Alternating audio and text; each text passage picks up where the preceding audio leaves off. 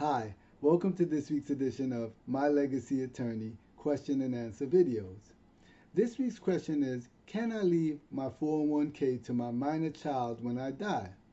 Now, the technical answer is yes, you can leave your 401k to a minor child. However, this is not a good idea. As I mentioned in a previous video on insurance proceeds, minor children really cannot inherit anything outright.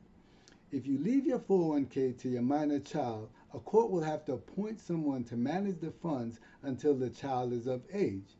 This person is typically paid out of those funds to manage the money. In some states, you must be 18 and in some others as high as 21 years old before you can inherit. A better way to leave your retirement account to your minor child is to set up a trust to receive those assets. You can then name someone you trust to manage and distribute the money in any way and at any time you wish the child to receive it.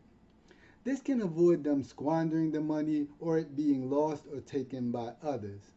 If you'd like to learn how to set up a trust, contact me at norman at normthompsonlaw.com. Thank you.